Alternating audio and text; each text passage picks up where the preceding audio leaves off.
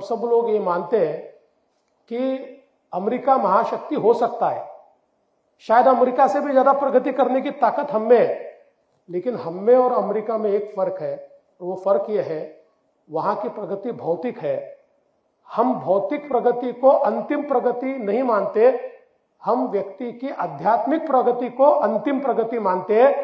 इसलिए पूरी दुनिया में उस प्रगति की ओर जाने की ताकत और शक्ति अगर किसी एक देश में है तो हमारे भारत देश में है और जहाँ एक और भारत की राजनीतिक व्यवस्था भौतिक प्रगति को पाने की कोशिश कर सकती है, वही उसी आध्यात्मिक प्रगति तक पहुँचाने का काम हमारे पूज्य संतों ने, सैकड़ों ने, हज़ारों ने, लाखों साल यहाँ पर किया है और उसी को आगे करना भी पड़ेगा। इसलिए मैं ऐसा मानता हूँ कि यहाँ बैठे हुए जो सब हमारे संतगण हैं उन पर इसकी बहुत बड़ी ज़िम्मेदारी है और आप सबने उस दिशा में, इस बैठक में विचार भी किया है, उसकी कार्य योजना भी आप लोगों ने तैयार की है।